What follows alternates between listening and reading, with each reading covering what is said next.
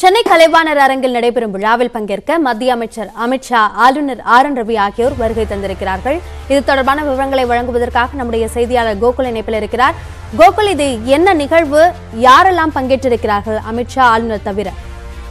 சென்னை கலைவாணர் அரங்கத்தில் India civil நிறுவனத்துடைய power விழா நிகழ்ச்சியில் கலந்து கொள்வதற்காக மத்திய உள்துறை அமைச்சர் அமித்ஷா மற்றும் தமிழக ஆளுநர் ஆர். என். ரவி ஆகியோர் இருவருமே ஒரே கடலில் தற்பொழுது விழா நடைபெறக்கூடிய கலைவாணர் அரங்கத்திற்கு வந்திருக்கிறார்கள். பலத்த பாதுகாப்பு ஏற்பாடுகள் செய்யப்பட்டிருக்கிறது. பலத்த பாதுகாப்போடு இருவரும் தற்போது விழா நடைபெறக்கூடிய அரங்கத்திற்கு வந்திருக்கிறார்கள். ஏற்கனவே மத்திய இணையமைச்சர் எல்முருகன் மற்றும் ஓ பன்னீர்செல்வம் தமிழக பாஜக தலைவர் அண்ணாமலை உள்ளிட்ட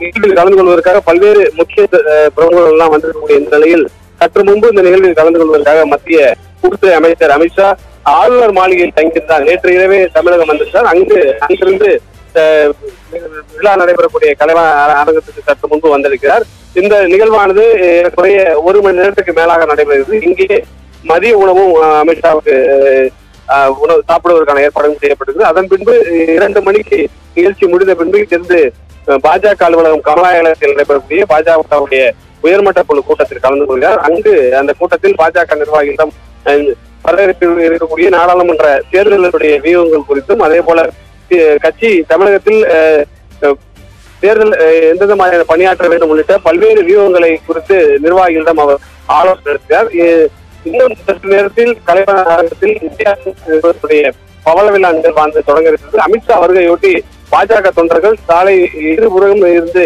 உற்சாகமாக வரவேற்றார்கள். அவரும் தொண்டர்களை பார்த்து கையெழுத்தபடியே அஹ், வரவேற்பை ஏற்றுக்கொண்டார். அதே போல ஆட்டம் பாட்டம் மற்றும் நாட்டுப்புற கலை நிகழ்ச்சியுடைய கொண்டாட்டத்தோடு அமித்ஷாவிற்கு பாஜக வரவேற்பு அளித்தார்கள். அமித்ஷா வருகையொட்டி சென்னை முழுவதுமே பலத்த பாதுகாப்பு ஏற்பாடுகள் செய்யப்பட்டிருந்தது பாஜக அலுவலகத்தில் நடைபெறக்கூடிய கூட்டத்திற்கு பின்பு நேரடியாக விமான நிலையத்திலிருந்து அவர் டெல்லி செல்வதற்கான ஏற்பாடுகளும் செய்யப்பட்டது நிகழ்ச்சி நடைபெறக்கூடிய இடத்திற்கே ஓ பன்னீர்செல்வம் வந்திருக்கிறார். அதனால் இங்கேயே அவர்களுடைய சந்திப்பு நிகழ வாய்ப்பு இருக்கா நிச்சயமாக. ஓ பன்னீர்செல்வம் இந்த நிகழ்வில் கலந்து கொண்ட பின்பு அமித்ஷாவை சந்திப்பதற்கான வாய்ப்பு இருக்கிறது. இங்கே அந்த சந்திப்புக்கான ஏற்பாடுகள் செய்யப்பட்டிருக்கிறது. ஏனென்றால் நேரடியாக அமித்ஷா இங்கிருந்து அஹ், பாஜக அலுவலகம் தான் செல்கிறார். தலைவான அரங்கத்திலேயே அவருக்கு மதிய உணவுக்கான ஏற்பாடுகளும் செய்யப்பட்டிருப்பதாக அங்க இருக்கக்கூடிய நிர்வாகிகள் தரப்புல தெரிவிக்கப்பட்டிருக்கிறது. வேற எந்த நிகழ்வும் இல்லாத காரணத்தால் ஓ பன்னீர்செல்வம் இங்கே அமித்ஷாவை சந்திப்பதற்கான வாய்ப்பு அதிக அளவிலே இருக்கிறது. இருவரும் அஹ், ஏற்கனவே ஓ பன்னீர்செல்வம் அமித்ஷாவை சந்தித்திருக்காங்க. நேரமும் நேரத்தில் நேரமும் கேட்டிருக்கார் அதற்கான நேரமும் அவருக்கு ஒதுக்கப்பட்டிருக்கிறது. ஆகவே இங்கு அமித்ஷாவை சந்தித்து பேசுவதற்கான வாய்ப்பு இருக்குது. தன் தன் அதிமுகவில் நிலவக்கூடிய உட்கட்சி கூட்டம் மற்றும் பல்வேறு அரசியல் நிலைப்பாடுகள் குறித்து அமித்ஷாவிடம் ஓ பன்னீர்செல்வத்தினுடைய கருத்துக்களை தெரிவிப்பார் என்று ஓ பன்னீர்செல்வத்துடைய ஆதரவாளர் மத்தியில் பேசும்போது அவருடைய தகவலாக இருக்கிறது. இந்த நிகழ்வு நிகழ்ச்சி முடித்த பின்பு சந்திப்பு நடைபெறுவதற்கான வாய்ப்பு இருப்பதாகவே அதிக அளவில் பார்க்கப்படுகிறது. சந்திப்பு முடிந்த பிறகு நேரடியாக அமித்ஷா பாஜக அலுவலகத்தில் நடைபெறக்கூடிய அந்த உயர்மட்ட குழு நிர்வாகிகள் கூட்டத்தில் கலந்து கொள்கிறார். அங்கு தமிழகத்தில் கட்சி மற்றும் அஹ், வர இருக்கக்கூடிய நாடாளுமன்றத்தில் செயல்படுத்தக்கூடிய வியூகங்கள் குறித்தெல்லாம் பல்வேறு கருத்துக்களை கட்சி நிர்வாகிகளிடமும் அவர் ஆலோசிக்க திட்டமிட்டிருக்கிறார்.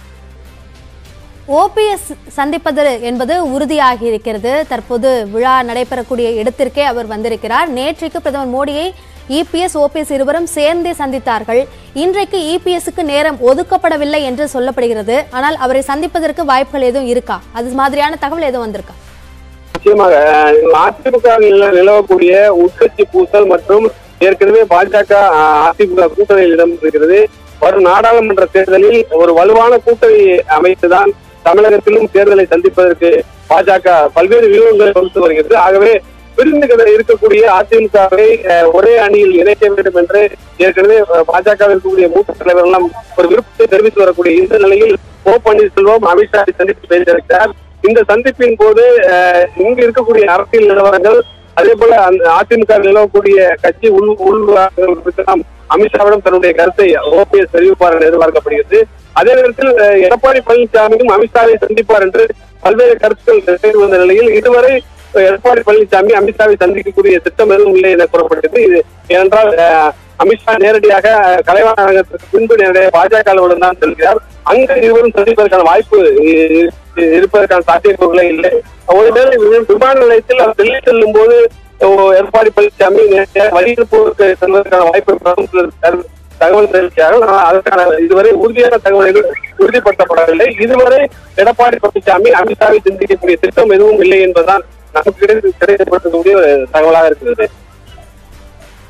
இந்தியா சிமெண்ட்ஸினுடைய எழுபத்தைந்தாவது ஆண்டு விழாவில் பங்கேற்பதற்காக மத்திய உள்துறை அமைச்சர் அமித்ஷா ஆளுநர் ஆர் என் ரவி உள்ளிட்டோர் வந்திருக்கிறார்கள். மேலும் அங்கு ஓபிஎஸ் மகேந்திர சிங் தோனி உள்ளிட்டோரும் அந்த விழாவில் பங்கேற்றிருக்கிறார்கள். இதில் அரசியல் முக்கியத்துவம் என்ன என்பது குறித்த விவரங்களையும் பதிவு செய்தமைக்கு நன்றி கோகுல்.